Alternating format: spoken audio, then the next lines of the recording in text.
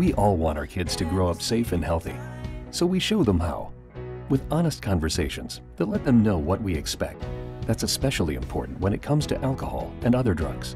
And when it comes to pain medications, opioids, they need to know that they should never be shared with friends or family. For more information about talking with your kids about underage use of alcohol and other drugs, visit underagedrinking.samhsa.gov. So